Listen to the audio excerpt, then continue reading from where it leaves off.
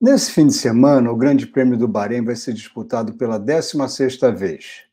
Inaugurado em 2004 com vitória de Michael Schumacher, esse circuito teve seu recorde de volta estabelecido em 2005. Ele pertence ao espanhol Pedro de la Rosa, com um tempo de 1 minuto, 31 segundos, 447 milésimos, feito com McLaren com motor Mercedes V10 e pneus frisados. É praticamente certo que esse recorde vai ser esmagado nesse fim de semana.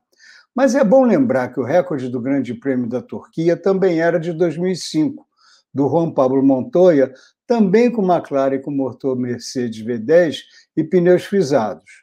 Mas a chuva e o asfalto novo não permitiram que ninguém chegasse nem perto dele. Dessa vez, a previsão do clima é de tempo bom, sem chuva. E como a pista não passou por nenhum recapeamento recente, não são esperadas maiores dificuldades. Mas mesmo assim, essa corrida tem alguns detalhes que podem complicar a vida dos pilotos e dos engenheiros. A começar pelos horários. O primeiro treino da sexta-feira vai das duas horas às três e meia da tarde, sob a luz do sol. O segundo vai das seis da tarde às sete e meia, já com luz artificial. Tem nada menos de 495 postes espalhados em torno da pista para garantir visão perfeita para os pilotos. Mas isso não impede que o asfalto esfrie do primeiro para o segundo treino. A mesma coisa acontece no sábado. O terceiro treino vai das duas às três e o Qualify vai das cinco às seis da tarde. O Qualify ainda começa sob luz natural, mas logo os poucos refletores se acendem e a temperatura da pista cai. Por causa disso, o único treino realmente útil para as equipes é o segundo da sexta-feira, o único que reproduz as condições climáticas do Qualify e da corrida, que também começa às cinco da tarde. Esses horários são usados para que as transmissões de TV na Europa ocorram durante a tarde, no horário que o público europeu está acostumado. E como o Grande Prêmio do Bahrein foi o primeiro no Oriente Médio, a moda pegou e, desde então, todas as corridas para aqueles lados são nesse esquema. Para nós no Brasil, os treinos vão começar às 8 da manhã na sexta e no sábado. A prova de classificação vai ser das 11 ao meio-dia do sábado e a corrida vai começar às 11h10 do domingo. Para os engenheiros, essa prova já começou há mais de uma semana com trabalhos de simulação. O traçado em si não tem grandes mistérios. São quatro retas, duas longas, uma média e uma curta. E das 15 curvas, apenas duas são longas, que exigem mais dos pneus. Por isso, a Pirelli resolveu usar a sua escala intermediária nesse ano. Os pneus escolhidos foram o C2, o C3 e o C4. Lá há três zonas de DRS, o sistema de abertura da asa traseira que facilita as ultrapassagens.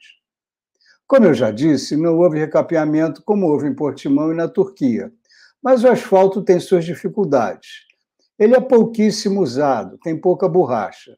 À medida em que os carros andam, a aderência vai aumentando. Ou seja, a pista muda o tempo todo, volta a volta. E ainda tem um complicador. O vento traz areia do deserto para a pista, o que afeta não só a aderência dos pneus, afeta também o desgaste deles. Mas esses desafios não impedem o favoritismo dos carros com motores mais potentes, ou seja, as Mercedes de Lewis Hamilton e de Valtteri Bottas. E como a maioria das curvas é curta, cresce também uma melhor perspectiva para a Racing Point, que corre com os carros da Mercedes de 2019 um pouquinho melhorados. Mercedes e Racing Point ocuparam o pódio da última corrida, a da Turquia, junto com uma Ferrari, a de Sebastian Vettel. Esse terceiro lugar foi comemorado em Maranello como uma demonstração de que a escuderia russa, enfim, encontrou o caminho para solucionar seus problemas. Esse fim de semana é que vai ser a hora da verdade. A Ferrari é quem mais venceu no Bahrein. Seis vitórias em 15 corridas. E as últimas nem foram há muito tempo, em 2017 e 2018, ambas com Sebastian Vettel. Mas os carros daqueles anos eram pelo menos tão bons quanto os da Mercedes. E nesse ano eles estão bem atrás. Mesmo assim, a Ferrari chegou ao Bahrein sonhando em entrar na luta pelo terceiro lugar no Mundial de Construtores. Possível é, mas é muito difícil. Ela está em sexto, com 130 pontos. A Racing Point, que está em terceiro, tem 154. A diferença de pontuação nem é tão grande, mas o desempenho dos carros não permite otimismo.